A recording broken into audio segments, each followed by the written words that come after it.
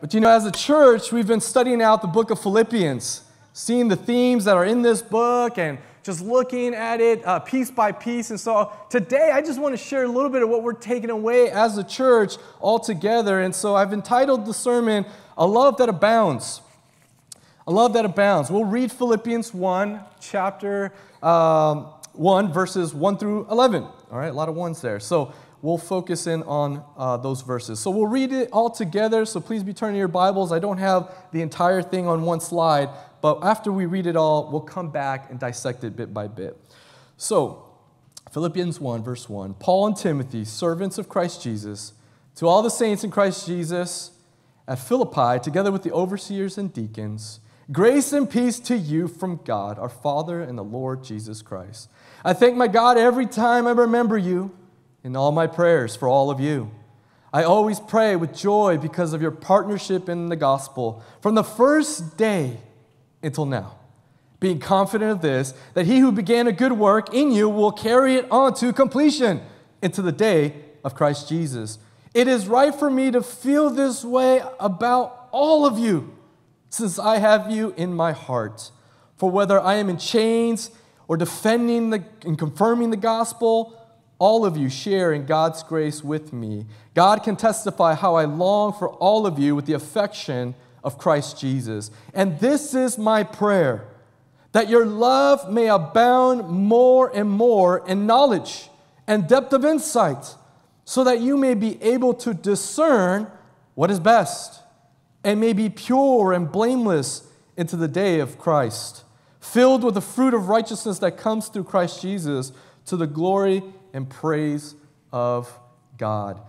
You know, if you're alive here this morning, you know that life has its fair shares of setbacks, disappointments, heartbreaks, tears.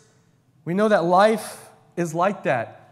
And the reason Philippians matters is that if we read this honestly, what you will see in Paul's letter to the church in Philippi are setbacks, persecutions, threats, divisions in the community, tensions in the families. And what you're going to be hearing from is from a follower of Jesus named Paul, who's writing this letter in jail. He is in house arrest.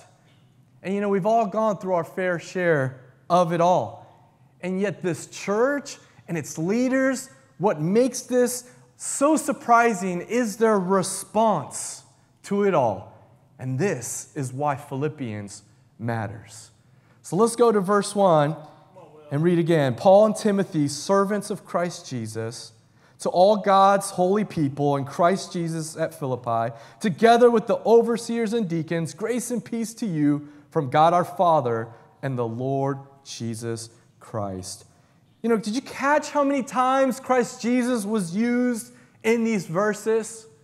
At first, it could come across a little redundant, or perhaps Paul is trying to be intentional to remind himself, remind the church that the relationships they have here, that Jesus is the center of the church.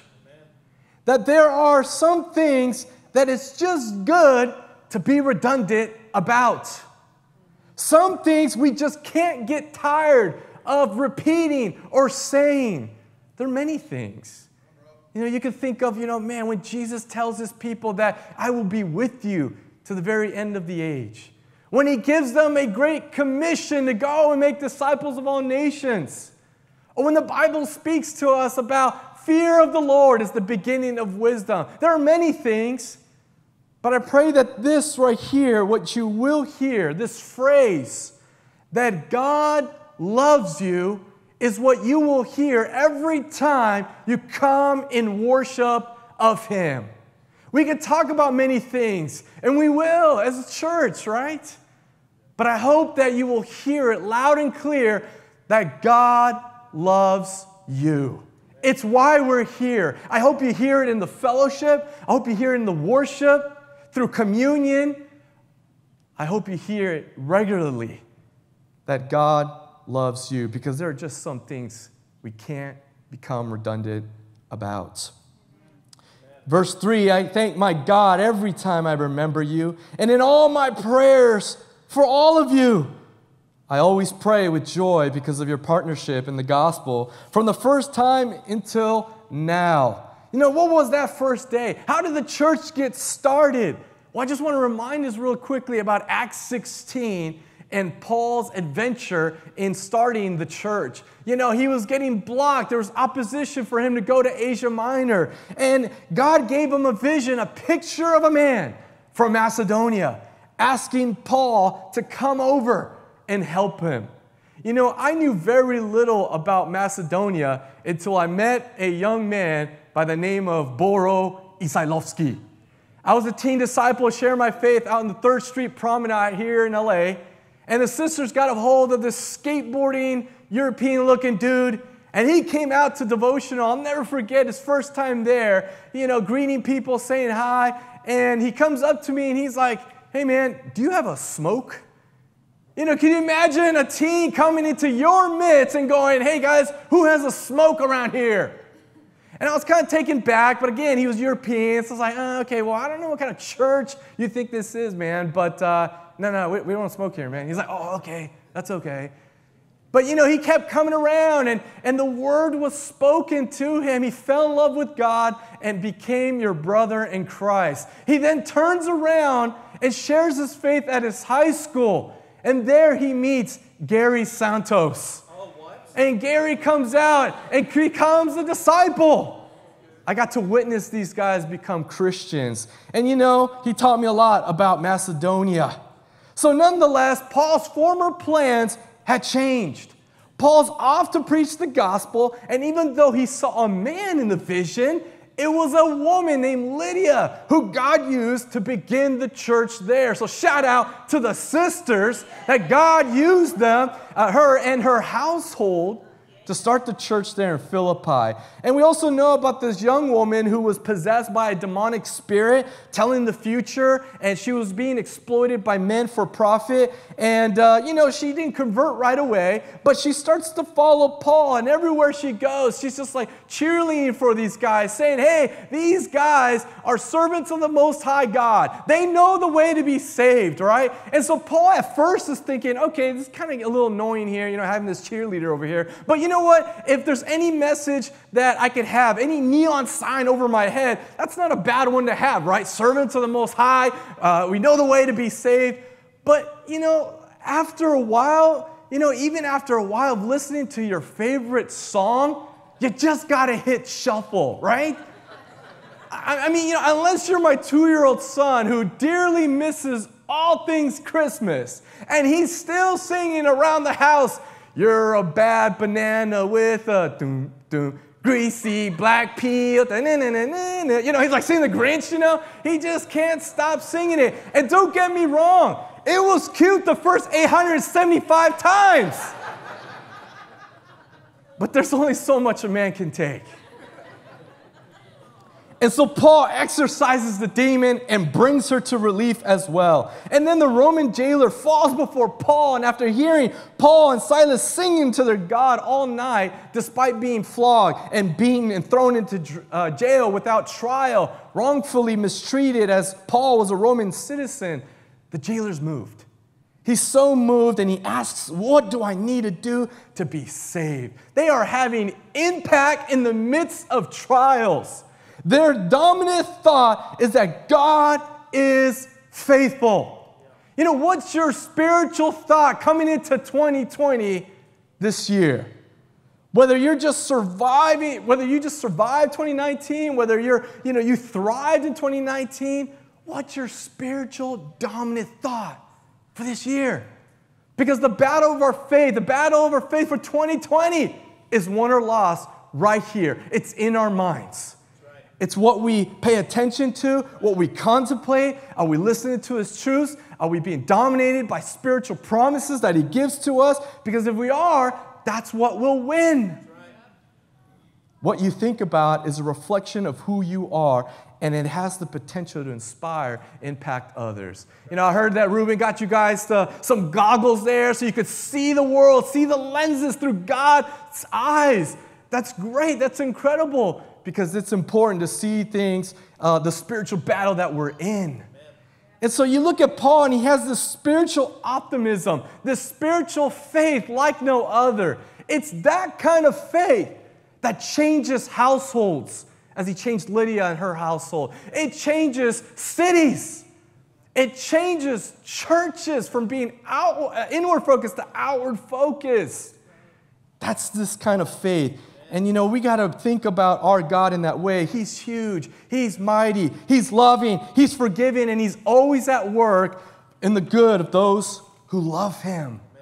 So, Paul and the Philippians, these guys, they were close. They've, they've given a lot to each other, they made a difference with each other. Jesus was the center of their relationship. these are people he knew, people he converted, people he loved. It was such an intimate letter from which the church started, um, you know, that he wrote about 10 or 12 years later. So in verse 5, with joy because of your partnership in the gospel from the first day until now, being confident of this, that he who began a good work in you will carry it on to completion until the day of Christ Jesus. Paul saw the beginning and their growth over the last decade or so, but he's thinking to himself and he's communicating to them, you haven't seen nothing yet. That where you're going, that God has a vision for you, God has plans for you. And if you're here this morning, God would want you to hear that. You may feel like you've maxed out, you've hit a ceiling. But here, God's word says, I have a plan for you.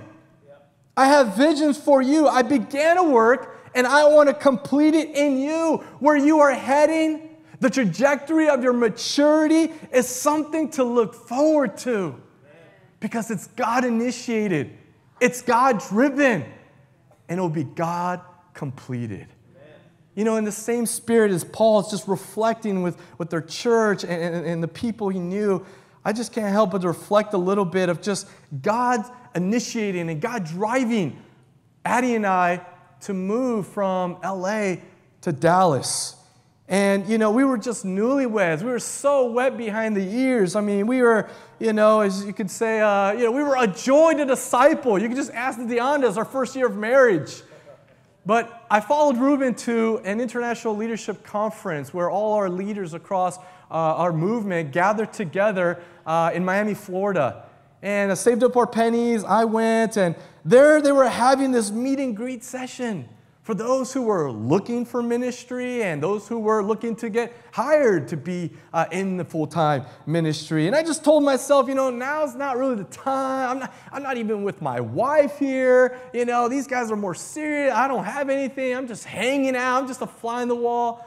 But then I thought, well, just be a fly in the wall. Just go, see what's happening, right? What could happen?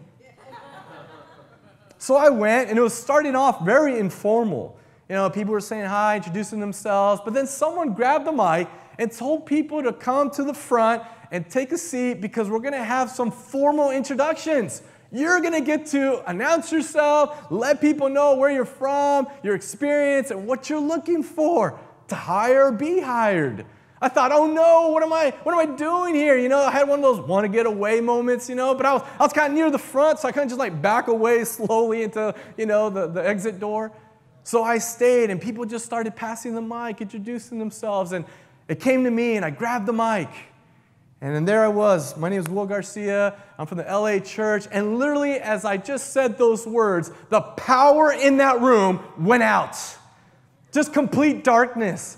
I thought, sweet, you know, like, okay, great. Here, next, you, you talk, man. I'm done, you know. Nobody needs to know me. I'm just a fly in the wall here.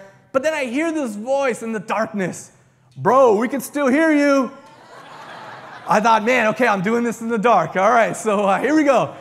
I introduce myself, everything, and then, you know, pass the mic, and then all of a sudden the lights kick back on, right? Talking about trying not to make an impression. Derek Vett, our regional leader who met me that day, comes over and he's like, hey, uh, aren't you the, the guy that spoke in the dark? Aren't you that speaking in the dark guy? I thought, okay, this is a little bit better than the, you know, fire guy or the crossword puzzle guy, right? You know, I was like, I'm the guy who talked in the dark guy. But that meeting right there would lead to something special. You know, we came back, we were talking to the Ondas, they were talking to the Ondas. We were like, what's going on? What's happening? God may be calling you here. And so we went and we, we met the church, and literally two months later, with their blessing and with, with their faith in us, we decided to take a leap of faith and to go to Dallas. We were quitting our jobs, saying goodbye to our families. That was literally almost 10 years ago. And, you know, I wonder all that Paul was thinking, all that Paul was going through in his mind as he thought about the church that was there. And in verse 7, he's like, It's right for me to feel this way about all of you, since I have you in my heart. Whether I am in chains or defending and confirming the gospel, all of you sharing God, God's grace with me. And God can testify how long, how I long for all of you with the affection of Christ Jesus that this is my prayer that your love may abound more and more in knowledge and depth of insight, so that you may be able to discern what is best and may be pure and blameless for the day of Christ, filled with the fruit of righteousness that comes through Christ Jesus to the glory and praise of God. So I want to I just want to camp out on this phrase here.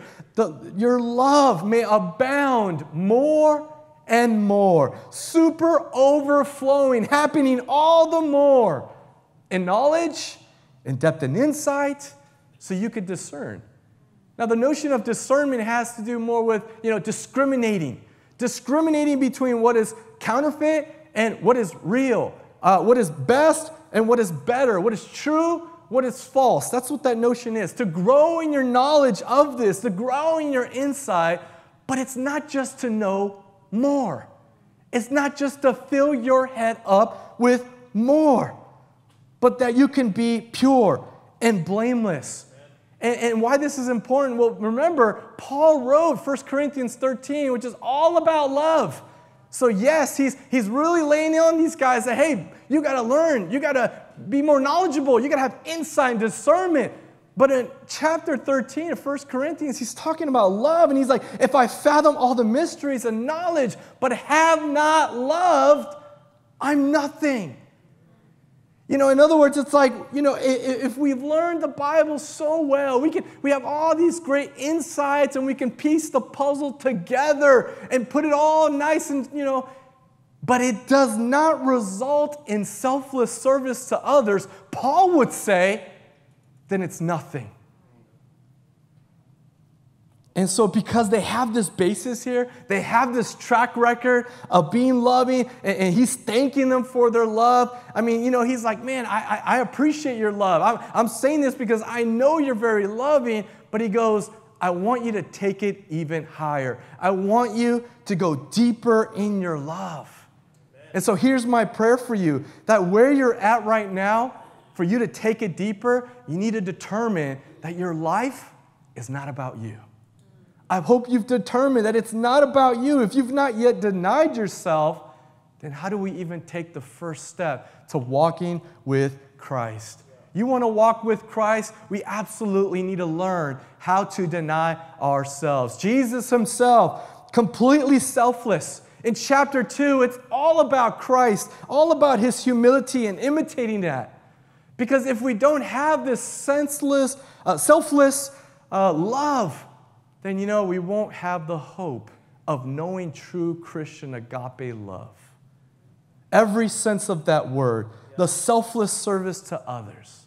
And if that's not the case for you right now, then now's a good time than any to see God wanting to do that in your life for you to have the depths of that kind of love exude from your life so that you can be filled by it, so then you can be poured out and reciprocated at every turn to those around us. It's the kind of lives that God graciously allows us to live, to see His grace come full circle over and over again. You know, coming full circle, you know, this past Christmas, I got to spend my birthday uh, here in LA. And I gathered my friends, and I gathered a very dear friend of mine. Uh, his name's Owen, and, and he's in the South Bay, and he was my mentor. He revealed Christ to me as a young man. He modeled what being a disciple is like. He helped me to become a Christian. And so there we were talking and sharing stories and, and yapping it up, having a lot of fun with that. But what made it so special was that right next to him was his 14 year old son. And you know, I was 14 when he was studying the Bible with me, when he was teaching me about Christ. And so to think about his son now is sitting right next to us. He's hearing the stories and the, and the spiritual effects that one has when, they, when they're willing to deny themselves and help others to become great. It, it did something for him. You know, we were walking out and he was like, Man, you know, I didn't know these stories about you, Dad. I didn't know my dad was pretty cool, Will. I was like, Yeah, man, your dad's pretty cool. You know, I came back to Dallas and uh, I got a text from one of our former teens uh, that uh, helps out with the campus ministry in, in Pepperdine and, and, UCLA. And he said, Hey, you know, there was a, a brother that just got converted and he's going home for the holidays. He's from Plano, Texas. You know, that's like 10 minutes away from me. And he said, Hey, could you get in touch with him? You went to Pepperdine, he's from Dallas. You know, I just thought it would be a nice mix, uh, a match, you know? And so I was like, Sure. So I text him up. I'm like, hey, let's meet up. Let's go to Chick fil A. Uh, I'll be wearing my Pepperdine gear. You should wear your Pepperdine sweater. He's like, yeah, that sounds great, but I don't have a Pepperdine sweater. I'm like, you're killing me, Smalls. Uh, and so we go. And after a few minutes of just connecting with him, we just bonded. We're just telling our stories, how we became Christians. And, you know, he told me about his upbringing and just being religious. And, you know, I grew up in church, but I didn't grow up in Christ. I wasn't held to the standard. I wasn't following his standard. I didn't repent. Just incredible story of this young man who came to that realization. And then I was sharing with him my story as a, as a teenager in El Segundo, being baptized there, trying to do something great for God there, from a single family home as well. And just, just trying to encourage him and telling him how me and this Macedonian went to Pepperdine to launch the campus ministry there. And then it clicked. He said, Man, because you went to Pepperdine back in 2001, somehow you going to Pepperdine somehow impacted me in 2019. I said, Yeah, but, but here's the thing it's your turn to keep it going. You have an opportunity to keep the grace going. And that's what Paul is trying to get at with these guys. He's trying to teach them, guys, keep this going. Keep the dance of grace going. Don't let it sit on your lap, but pass it on. Let's give it away. And Paul was really encouraged. He, he was loving his guys. He was trying to encourage them that what I want for you guys is to press forward, to dream bigger, that Jesus is coming back. We're all going somewhere, guys. This is leading us to somewhere. And so there's this mutual reciprocation of, of grace. Jesus to Paul, Paul to the Philippians, Philippians from Jesus to the hurting world. And it's all beautiful, it's all being reinforced. And you know, once you get it, you just can't wait to give it away. You can't wait to give it back. And that's the reality of these relationships in this church. Not only has He begun a good work in you, but He will bring it to completion. Well, how will He do that? How will He complete this work? Well, God will complete a love in you. That's what's going to grow our love. An agape love. And, and just to not give this, you know, disservice here, I don't want you to think of an overused, uh, you know, sentimental feeling, kind of cheesy hallmark love. I want you to really understand the meaning that Paul is going after right here. When Jesus shows this abounding love, I want you to think John 13. I want you to think how he showed his love to the fullest. He humbles himself. A towel around his waist, he grabs a bowl of water and he begins to wash the feet of 12 dull men who are astounded by this man's example. That's love. It's a selfless service to others. Yes, it's attended with real affection, but there's real clarity it's obvious, it's clear, you can see it. And that's what he was trying to get at. He's trying to encourage them to do all the more. I mean, he realizes that one of the brothers came and sent him a gift. He almost died trying to give him this gift to him. And so it could have been so tempting for him to say, hey, man, I know you guys are very loving. I know your love is, is great and it's there in your relationships. I get it. I'm going to go teach the other churches and tell them that they need to be more like you. No, he doesn't do that. Instead, he goes, you know what? Um, I, I want you to know don't settle here. Don't settle for where you're at. And no matter where we are in our walk with God, Paul will want us to have this idea of progression, of moving forward of growing and growth as we become more and more like Christ. As a community, doing it together, individually in our walks with God, but, but, but we're growing, we're abounding, we're super abounding all the more in our selfless service as we become more like Jesus. You know, the whole world is thinking about progress right now. Yes, it's, you know, 26 days or so into the new year, but people are talking about progress about moving forward and the changes they got to make to better their lives or to make it better. How much more for the disciples of Jesus, for us to have spiritual progression goals, goals that will lead us to progression in our lives this year and really into the new decade. So, what spiritual progress will you be intentional about making this year? Maybe it's just simply to love our God love our spouses, love our children, our family, love our friends, mean, love ourselves. Maybe it's truly to know Christ like you've never known him before. You know, last week before I came here, it was raining, and you know, Texas weather is kind of bipolar. It's like, you know, freeze one night, the next day I'm out playing disc golf because it's 65. I mean, it's just kind of crazy like that. But it was raining, and you ever seen people wrestle with umbrellas? You know, they're trying to get it open and they're trying to stay dry. And sometimes, you know, this lame umbrella just doesn't open quick enough or the way they want it to. And so they start to get wet a little bit.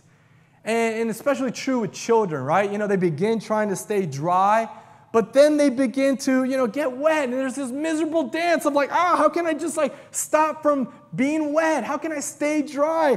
And, you know, at some point, they just give up on the umbrella.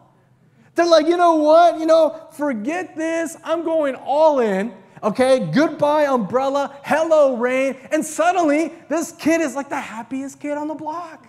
They're jumping into puddles. They're singing in the rain. They're like drinking the rain or whatever. They're just so excited because what was once a miserable thing ends up becoming this beautiful, wondrous adventure.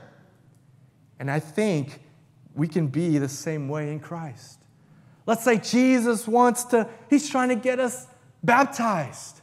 He's trying to help us be reconciled to him. He's trying to help us get uh, when become a faithful disciple of his. But maybe we're uncomfortable with that. We, you know, walking with Jesus, I'm not sure. You know, I, I want to stay dry. I, I like it there. It's a little bit safer. But, you know, if you were to just abandon any self preservation, just let go and let God just do His work, you would understand, you would know the unrestrained joy that Paul knew and that the Philippians knew. You know, Jesus isn't trying to get you to deny yourself Eh, so that he could put shackles on you, right? You know, like, oh, got you. All right, yeah, you're going to be mowing the church lawn the rest of your life. you know, he's not trying to do that. You know, I got you, sucker. You know, he's, that's not his game plan. True scripture, uh, scriptures never speak of that. And so, never should the life of a disciple look that way. You guys understand what I'm saying? When Jesus calls us to deny ourselves, right, and ask for terms of peace, we don't become his prisoner. We become a mighty warrior on his team. But sometimes we come across like prisoners. Man, I got to read my Bible how many times? I got to pray how many times? I, I got to give how much? I got to do what how many times? That's a prisoner. Bible speaks nothing of that. We are warriors of his kingdom. You know, Jesus, when we do that, when we're, when we're just like abandoning that, man, so comes the joy that isn't based on circumstances. You know, here's just a, a few pictures of some of our teens who became Christians last year. And, you know, as a team ministry, we always got to stay focused, uh, focused on our communities, right? On those who haven't grown up in the church, who don't have what our kids who are growing up in church have had all their life. And so here are three kids, three teens who were baptized last year who didn't grow up in the church. Uh, the first one is uh, Jada. Oh, sorry, you jumped ahead there. There's Jada. Uh, Jada was reached out to at a pool party. Her and her family came out. Jada continued to study the Bible. She loved the Bible, so she loved fall in love with God. She became your sister this past year. But you know, it hasn't been easy for her. Her family is just persecuting her you know, her sister's a teenage mom, and her mom goes in and out of relationships, and, and you know, she's trying to bring them to God, but they're like, hey, don't talk about God. You could do what you want, uh, but we're not going to help you. You need to find your ride. You know, find your way. We're not going to pay for anything. The church is loving her. She is holding on to her faith. She's like, I just want to, man, I just want to graduate. I want to help you become Christians, but I need help. And the church has loved up on her, and she's continuing in her walk with God. You know, the next person here is Action Jackson here. Uh, he's a cross country runner at his high school, reached out to, and uh, he came out. He'd grown up in church, but he came to one of our midweeks and said, Hey, man, how'd you like it? He said, Dude, I'm coming to your midweeks now. I said, Okay, great. You know, so we began studying the Bible. And he just unraveled so much of religiosity that's there in, in, in you know, the, the, Southern Belt, you know, the Bible Belt there in Texas. And he, he just came to really appreciate what the Bible says about his plan of salvation, about truly being a Christian. And so now he's your brother in Christ, and he runs now for God. And lastly, here's Erica. Uh, Erica was reached out to by teen disciple, a quiet, shy teen disciple who knows to, to make disciples, who knows that she's got to be a bright light. And all she did was just make sure that she stood above the temptation, stood above when everyone's going this way, she's going that way. And someone took notice, and it was Erica. She said, Hey, I, heard about your church group. I want to go, I want to visit. She came and she was hurting because her father just passed away a, a couple months before they met her. And she says, I have answers. I don't want to blame God, but I have, ans- I have questions. And I know I can find answers in the Bible, but I need help. So we got together with her, and she became your, uh, your sister in Christ just last year. And so, guys, you know, teen disciples, I mean, hear me. I've been in your shoes. I know what it's like. I want to encourage you to hang on, to persevere. Don't listen to the crowd when everyone else is going with the crowd. You follow the cloud. Amen? Amen. So, you know, Paul's talking about this selfless love. And when we really decide to take on this selfless love, that, man, I'm not to be perpetually immature in my walk with Christ. I'm not just to keep having spiritual birthdays and act like I'm maturing in faith, right? You know what I'm saying, guys? Uh, we're talking about, man, I need to add to my knowledge, goodness, and, and keep adding because there's somewhere I was meant to be. I need to be more like Jesus. I need to press on towards the goal.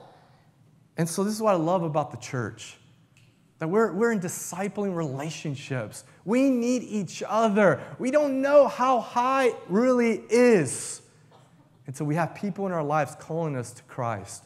But here's the thing no one is more responsible for my walk with God than me. I'm not independent. I'm not saying, you know, hey, I don't need you guys, but I'm not codependent. I'm not, you know, needing you to tell me what to do, what not to do. I am interdependent with my brothers and sisters because they will help me to be called higher to my potential. And we need each other so that you as well can grow to your potential here in 2020. I love that about our church. And everyone that's come out to our church that grew up in, some, in another church or another, that's what they say about us, guys. They see it. I know sometimes because we've been in it so long, we forget how special that is. We take it for granted. I want to encourage you to show your appreciation for who you have in your life. And what a wonderful place to end up, right? Getting excited about being pure and blameless, right? Pure really meaning that, you know, you're the same in public as you are in private, right? You're not, you're not playing church, you're not faking the funk, right? You're just being yourself. What a great thing. What a mark of maturity.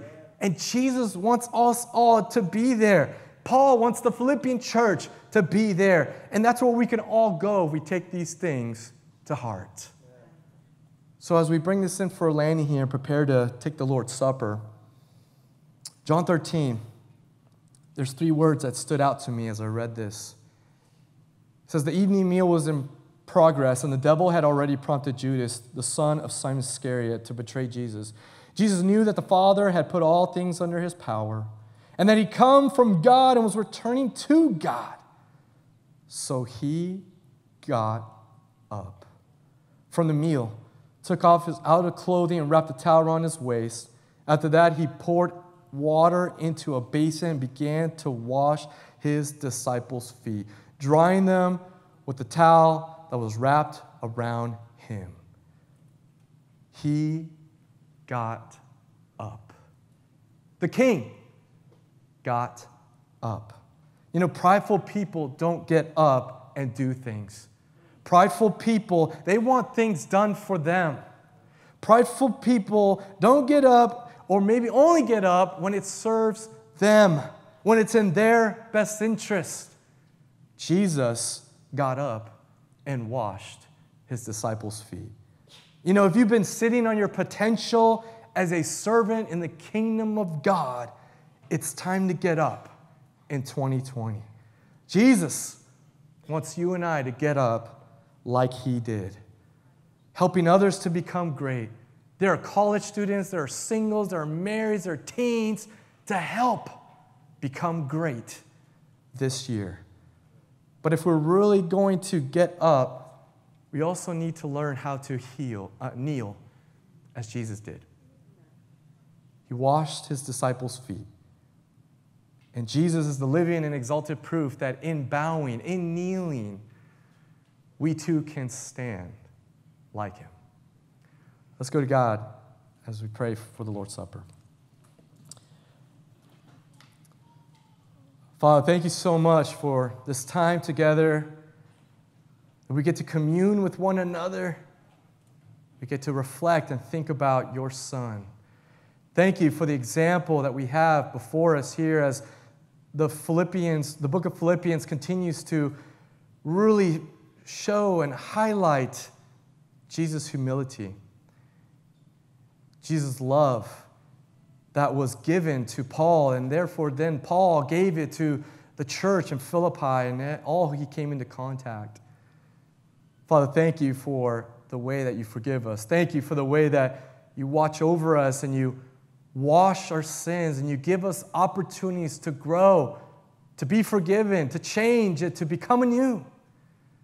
I pray, Father, that you would help us to do that here in this year, that we'd focus on progressing in one thing, but that we would be adamant about that one thing, that we'd be serious about that one thing. Father, we need you, absolutely, to do that. So thank you for your son Jesus who makes all of this possible. We love you. In Jesus' name we pray. Amen.